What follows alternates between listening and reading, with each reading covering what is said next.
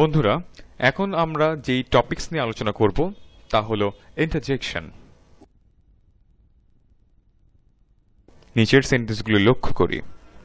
Alas your father is dead অর্থাৎ হাই তোমার বাবা মারা গেছেন।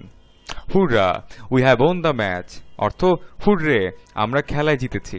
ওহ what a beautiful bird it is অর্থাৎ ওহ এটি কি সুন্দর পাখি। উপরের তিনটি সেন্টেন্সই একটি করে অতিরিক্ত ওয়ার্ড দিয়ে শুরু হয়েছে। সেগুলি আকস্মিক কোনো আবেগ প্রকাশ করতে ব্যবহৃত হয়েছে। অ্যালাস, হুররা এবং ওহ। ওয়ার্ড তিনটি যথাক্রমে আকস্মিক দুঃখ, আনন্দ এবং সন্তুষ্টির প্রকাশ করতে ব্যবহৃত হয়েছে। এই ধরনের ওয়ার্ডকে ইন্টারজেকশন বলে।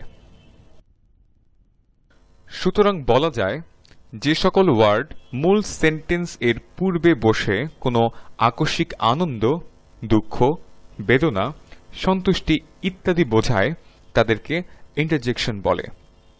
নিচে কতগুলো ইন্টারজেকশন এর উদাহরণ দেয়া হলো।